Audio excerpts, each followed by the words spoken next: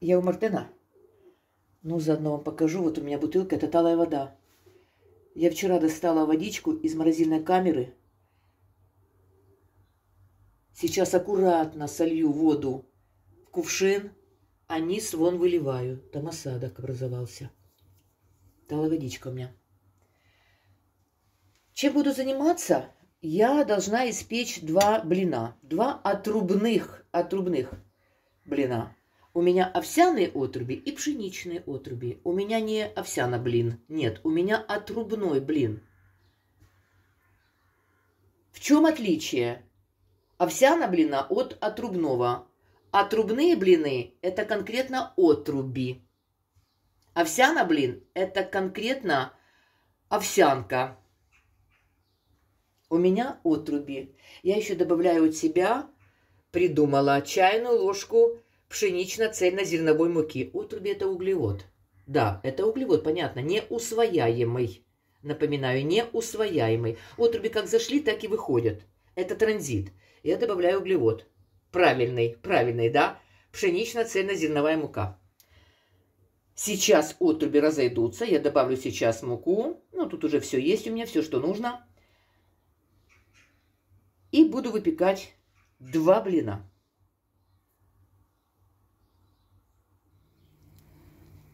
Лопаткой приподняла блинчик. Но если без камеры в руках, то я это делаю в элементе. Я хочу вам показать. Да, вот тонкий-тонкий у меня блинчик. Мне нужны тонкие блины на этот раз. Мне люди писали, значит так. О, видите, как легко и просто. Таня, а можно не добавлять, допустим, муку пшеничную, цельнозерновую? Можно, конечно, готовьте из одних отрубей, все получается. Но чайная ложка мне нормально. Я же углеводы не убрала, их только минимизировала. У меня правильные углеводы. Красивый блинчик. Очень тонкий, смотрите. Мои хорошие, у меня есть пицца из лаваша. Но сейчас отрубная пицца, да, у нас почти лаваш только из отруби. Вот смотрите, какой тоненький блинчик, светится, прозрачный, да? Не толстяк, не толстяк. Отруби, пожалуйста, да? Классно. Значит, вот на вот этот блинчик нужно положить яйцо. Вот яйцо. Что я делаю? Прямо вот сюда, бац, на яйцо. Беру вилочку и быстренько вот так делаем ля-ля-ля-ля-ля по всему блину. Распределяем яйцо. Желточек, обязательно желток. Это лецитин. Это наш разум, это наше кровообращение, это все, природный жир, это витамин D, это все витамины, аминокислоты вот здесь. Желток, белок, классно, полезно, сытно. Так, на яйцо я положу сейчас творог. Вот у меня в судочке, я вот так маленькими кусочками, ножиком, ножиком. Да, вот сюда, начинка, начинка. Ух ты, пышная начинка будет. Вот сюда. Да, я так придумала себе. Не только сырые, вот сырые. Эти сыры уже надоедают, честно говоря. Ну, так используем, конечно. Конечно, да. Так, все, есть, есть, есть. Так, хорошо. В стороночку. Можно творог подсолить немножко. Натрий обязательно, обязательно натрий. Смотрите. Обязательно. Так, немного, немного. Так, хорошо. Что еще мне сюда положить? Можно немного так, чисто символический сыр. Вот. Я потерла сыр, смотрите. Чисто символически. Как вы считаете? Это будет нормальненько, нормальненько. Потом что я делаю? Я беру еще один такой вот блин отрубной. И положу сюда, сверху. О, о, о. Прижала Танечка, вот так сделала, да? Сейчас я прикрою крышечкой. И ожидаю. Яйцо должно схватиться.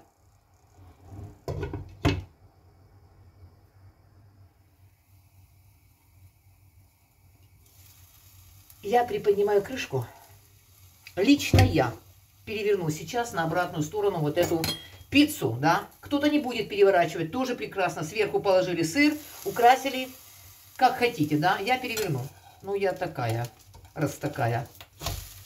Вот, так, хорошо. А вот сейчас я украшаю. Вот сыр у меня натертый, да, сюда.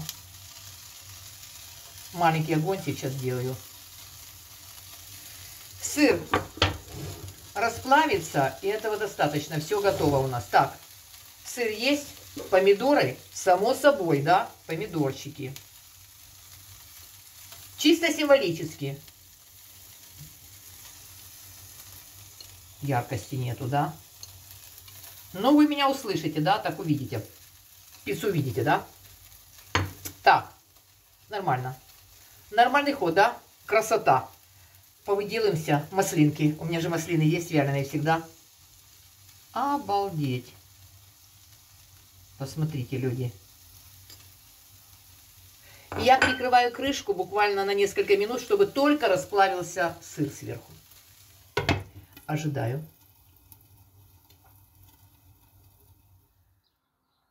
Мои хорошие, сейчас не пол первого, не 12.30, а 13.30. Перевели часы, и Таня не знала. У меня так часто бывает. Я могу есть полвторого в два часа дня. Но я почему-то надеялась, что я сегодня очень правильная. Оказывается, нет. Я в своем режиме. Час тридцать сейчас, тринадцать тридцать. Обалдеть. Ух ты, и похудение, да? Ух ты, и удержание веса. Мои хорошие, да? А трубная пицца даже не из лаваша, а мы сделали буквально сами лаваш. Из отрубей. Тонкие-тонкие блины получились. Пицца конкретно из отрубных блинов. Вкусно. Очень вкусно, очень сытно. Да? Вот я беру сейчас и попробую и вам сейчас расскажу.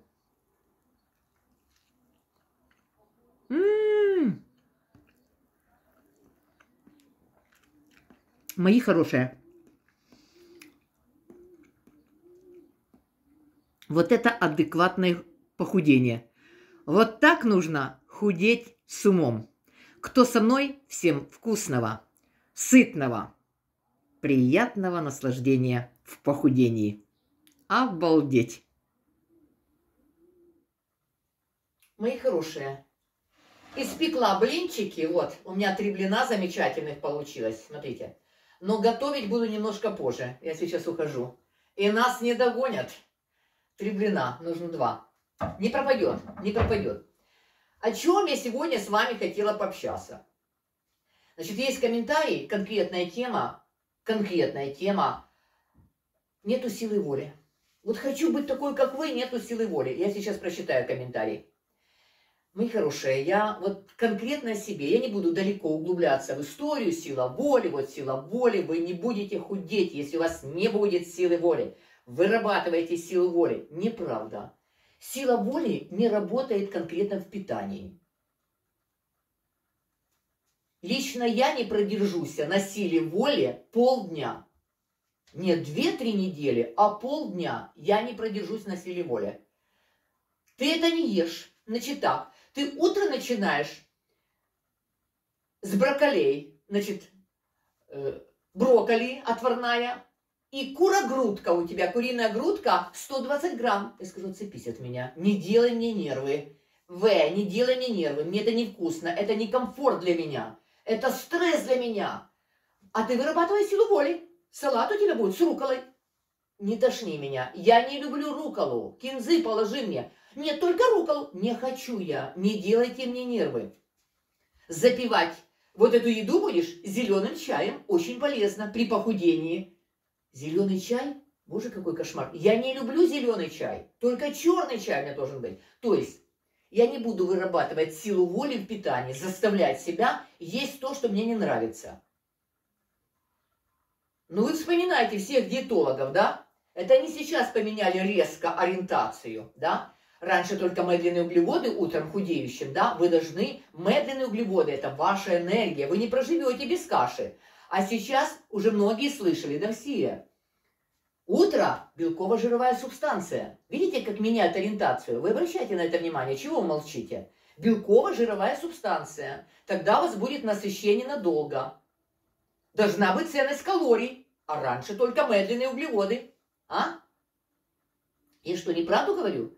Я, может быть, что-то придумала? И я на эту мульку ихнюю никогда не велась.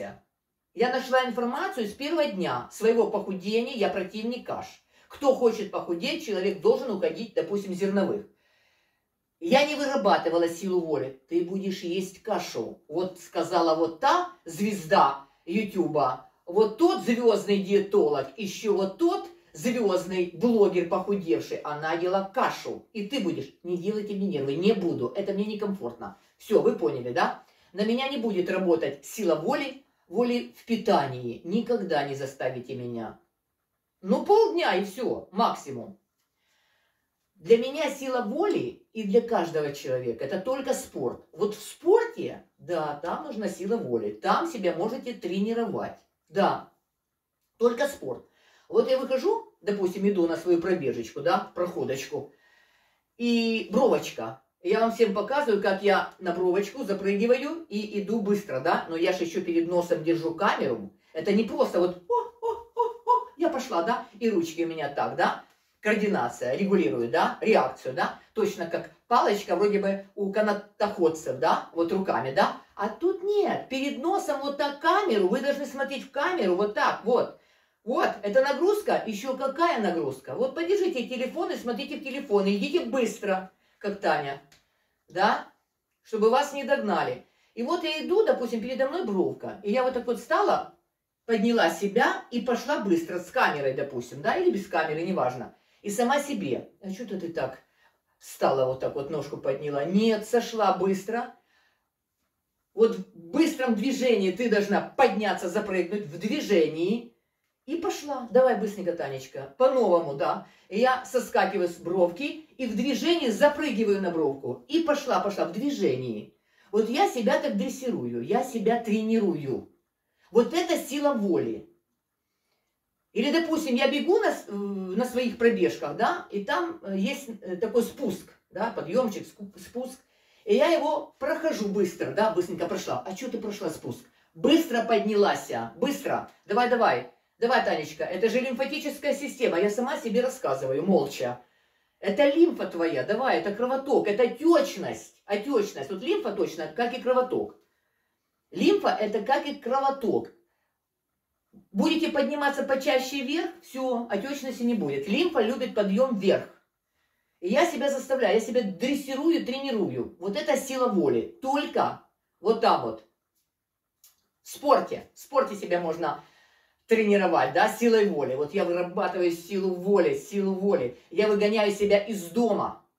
Я не буду сидеть как медуза, не буду не буду. Я пойду и буду заниматься. Вот здесь сила воли. Вам тяжело идти первых, допустим, каких-то там 500 метров или километр. Вам тяжело идти, да? Потом вы чувствуете, все, как-то легче стало, бодрее себя чувствуете. Пошел кровоток, лимфа улучшилась э, разгоняется лимфа, да, и вам легче. Все, во, вот там тренируйте себя. Самое главное вот так. Выпхнуть себе з хати. Зрозуміли, да? Но это что касается лично меня. Я вам рассказала о своей силе воли. Конкретно только о своей. Ну а сейчас я прочитаю комментарий и послушаем, что нам пишут. Мои хорошие, присела, и у меня вторая чашка кофе. Меня бодрит утром не кофе. Меня бодрит движение. Вот сразу говорю. Вот дома я еще так.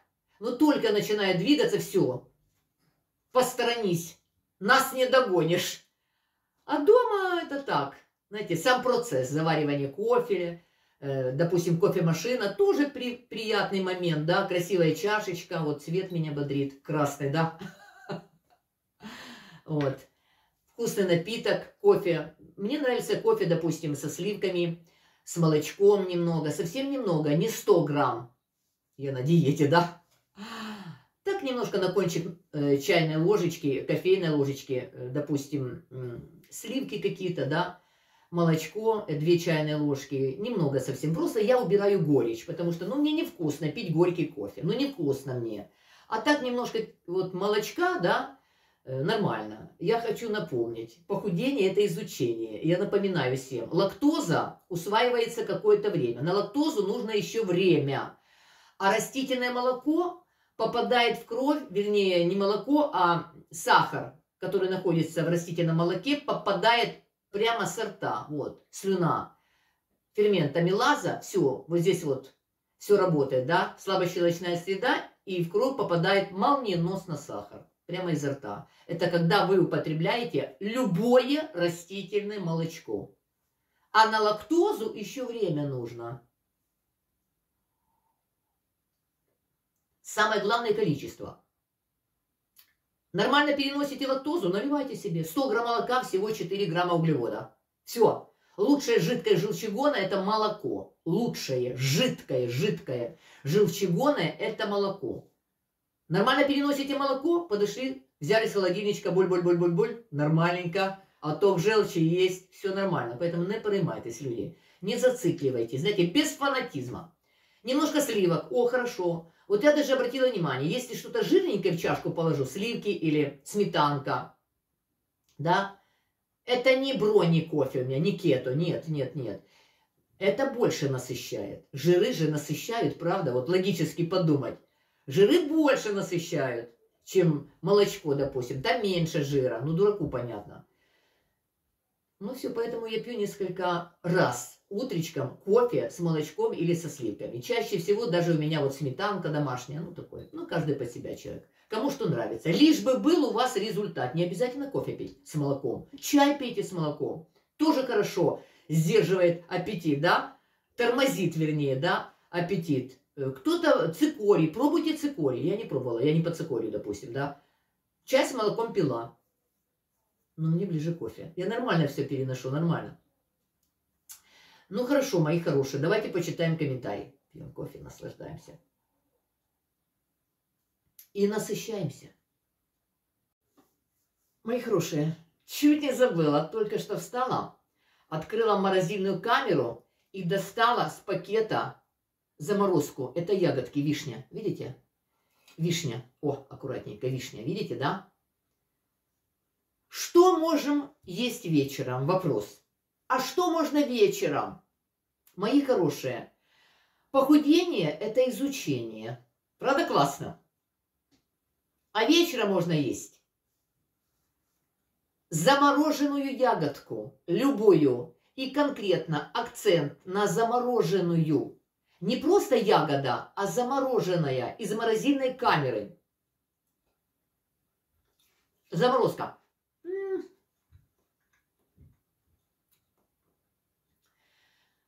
У нас на язычке есть рецепторы, да, вот едим мы с вами сладкое, да, что-то нам захотелось, идет сразу сигнал в мозг. Вот эти рецепторы передают сигнал в мозг.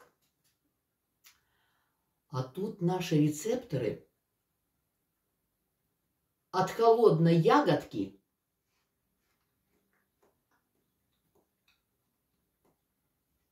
получают что? Анестезию. Классно, правда? Вечером замороженная ягодка.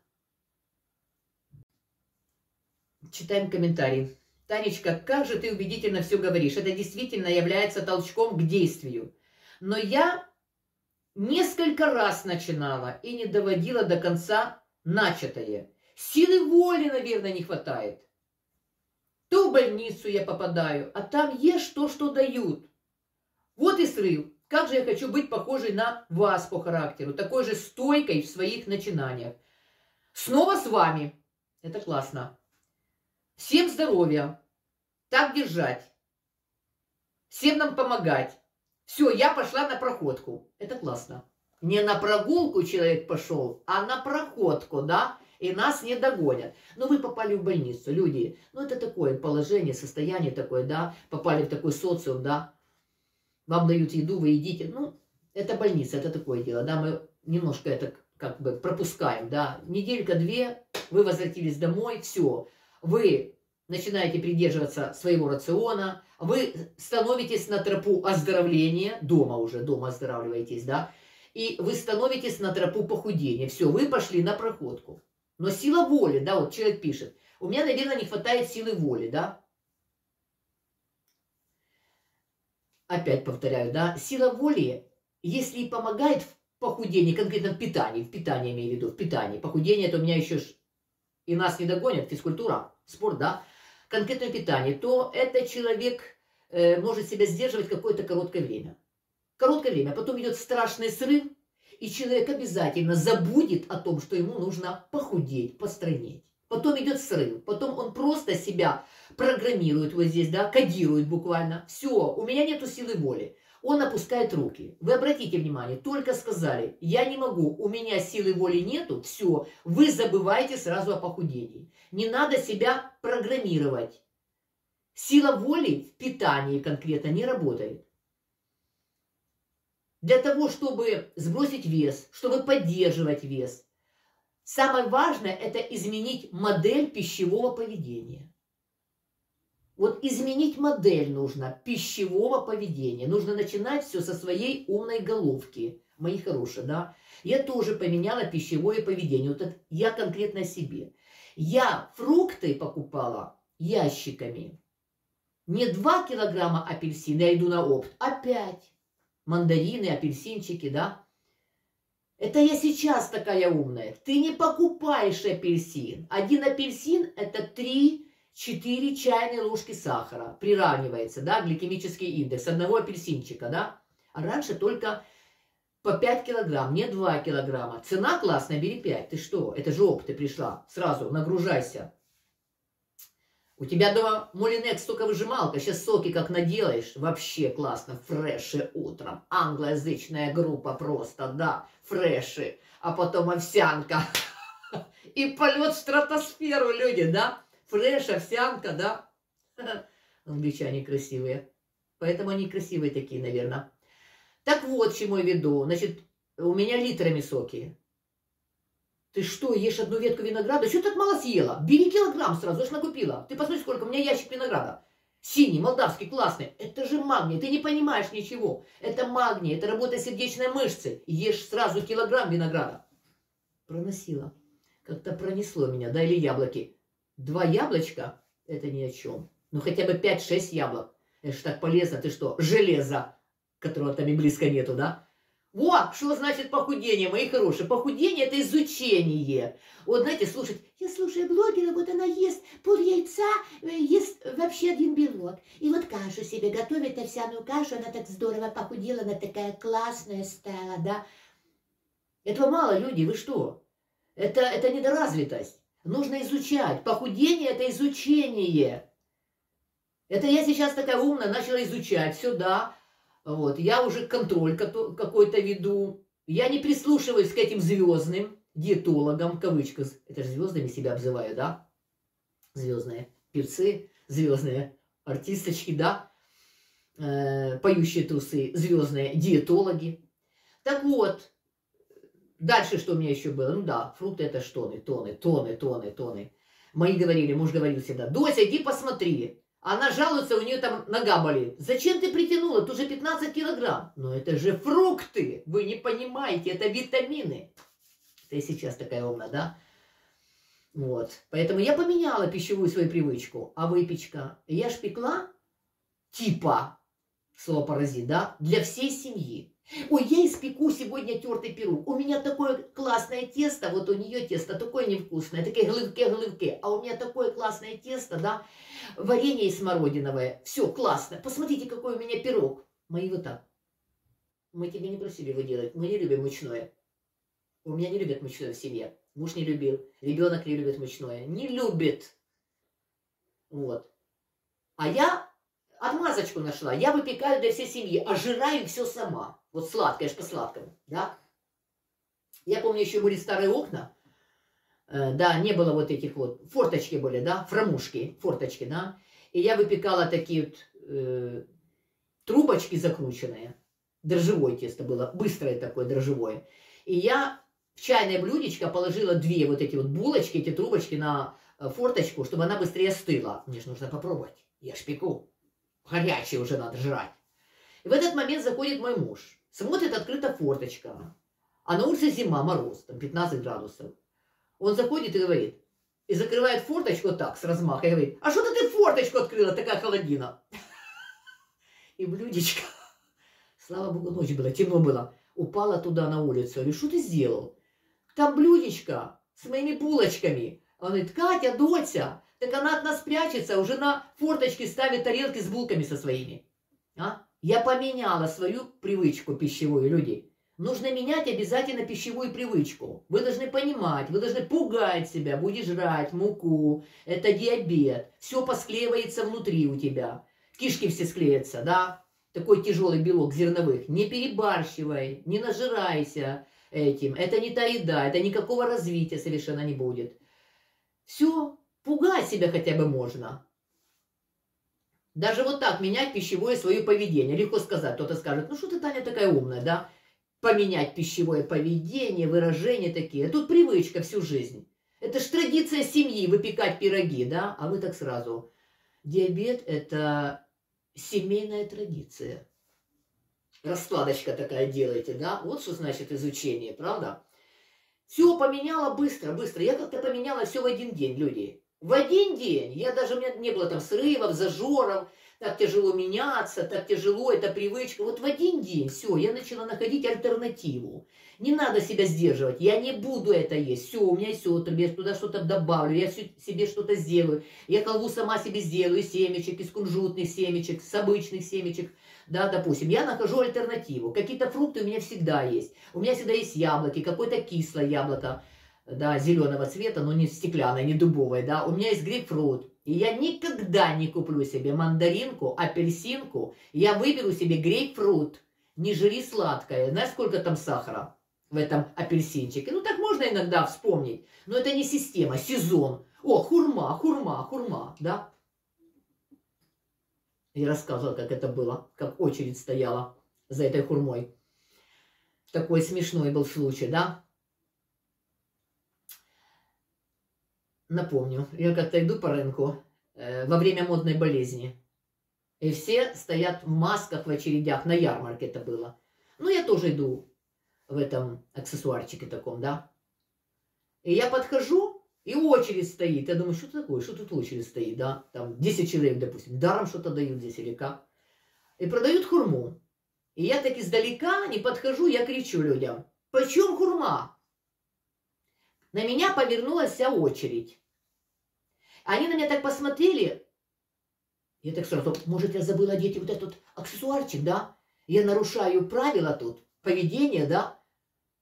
И одна маска мне говорит, женщина, ви що, не бачите? Там же пишеться буквами понятними. Корольок.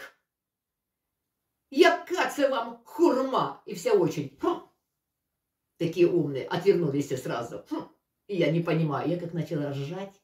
Это если бы я не была в маске, я, наверное, там запивала бы всех просто. Я шла по ярмарке, я хохотала. Женщина, яка це вам хур, хурма? Ви що не бачите? Это королек.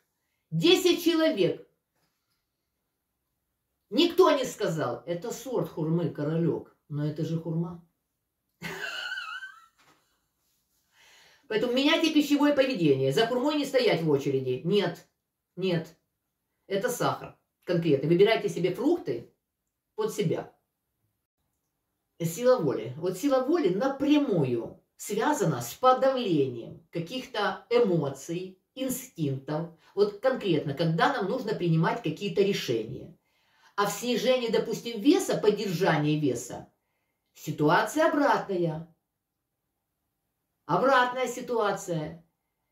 И сила нашего мозга, нами же руководит мозг, не желудок, сила нашего мозга – это ресурс, который очень быстро истощается. Очень быстро. Не получится худеть конкретно в питании, да, по питанию, да, силой воли. Не получится. Сила мозга – ресурс, который быстро истощается. Насколько вас хватит? А? На день, на два не получится. И вот если человек говорит, все, у меня столько еды сейчас, во-первых, голубцы остались, а нужно доесть. Мои не будут есть оливешку, я доем. Ой, так у меня еще тушеная картошка есть. А нет, вот это я все доедаю, потом я сажусь на диету. Сажусь на диету. Все кина не буде. Никогда этот человек не займется собой. Никогда. он не будет на адекватном сбалансированном питании. Никогда. Никогда. Худеть нужно, да, странеть конкретно с этой минуты. Вот вы меня послушали сейчас, все, у вас новая жизнь. Вы поменяли с этой минуты свою пищевую привычку. С этой же минуты. Вы открываете холодильник, вы смотрите, так, так, так, так, все, нормально, на сегодня мне хватит. Или я побежала в магазинчик, сейчас я сделаю себе. Все, с этой минуты, но только не с понедельника. Кто начинает худеть на силе воли, с дистанции сходит очень быстро. Если человек неправильно начинает питаться, вес очень сложно удерживать. И человек на силе воли, все, я худею, у меня сила воли, у меня такая мотивация, сила воли. Человек находится постоянно, постоянно, причем в некомфортном состоянии. Результата не будет. Сила воли – это жесткое ограничение конкретно в питании. Человек постоянно подавляет свой инстинкт. А постоянный вот этот некомфорт – это э, что? Это почва для формирования неврозов на почве питания. И вот сила воли в похудении – это, это пытка и мучение. Вот как раз сила воли только не в похудении. Постоянно человек находится в стрессе. Такая стрессовая мотивация. Что это за мотивация? Зачем мне это нужно? Не делайте мне нервы. Наоборот, Нужно находить себе такое питание, конкретное питание. Боже мой, это же надо, такое питание. Я даже не ожидала, что на таком питании можно похудеть. Как я себя комфортно чувствую. Я просто вся в шоколаде. И кофе пью, и чай с молоком пью, и кусочек шоколада я себе позволяю. И правильные-правильные сладости у меня есть. А, чернослив в шоколаде, это прелесть просто. Ух, какой у меня блин получился капустный, с йогуртом, вкусный. Как классно, у меня голубцы. У меня сегодня котлеты со свининки, супер. Как альтернатива хлебушку я положу цветную капусточку. Или отруби, какая прелесть. Люди, худеть нужно в комфорте. В питании не должно быть героизма. Я заставляю, у меня получается. У меня получается. Я вот вообще не употребляю сейчас молочные продукты. Это так вредно. Нет, я не больная. У меня все нормально. Диабета у меня нету. Инсулинорезистентности тоже нету. Но просто я вырабатываю силу воли. Говорят, сертифицированные, очень вредно есть казеин, творог, молочные продукты. Я убрала молочные продукты. Вообще не употребляю. Я вырабатываю силу воли. Мне тяжело, конечно, так хочется творога, но я себя держу. Мне сказали, что это казеин. Это губительно. И я не употребляю кисломолочные продукты вообще. Я вырабатываю силу воли. Нужно изучать. Похудение, похудение – это изучение, повторяю миллионы раз. Нужно правильно подходить к своему похудению. Все у нас перед носом.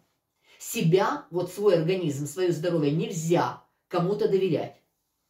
Вы должны научиться правильно подбирать для себя продукты, никого не слушать. Вы прислушиваетесь к своему организму. У вас появляются новые привычки. Да, появляются. Они постепенно появляются. Все идет автоматом. И ваш мозг будет действовать по накатанному плану. И мозгу будет намного легче. Все проходит на автомате у вас. Все, вы постепенно начинаете привыкать. Вы меняете свои привычки. И вы понимаете, да, все-таки это здоровое питание. Это здоровая пища. Классно. Действительно, как все я сумела пересмотреть, да, в правильную сторону, да? Я иду по правильному пути. У меня правильный рацион питания.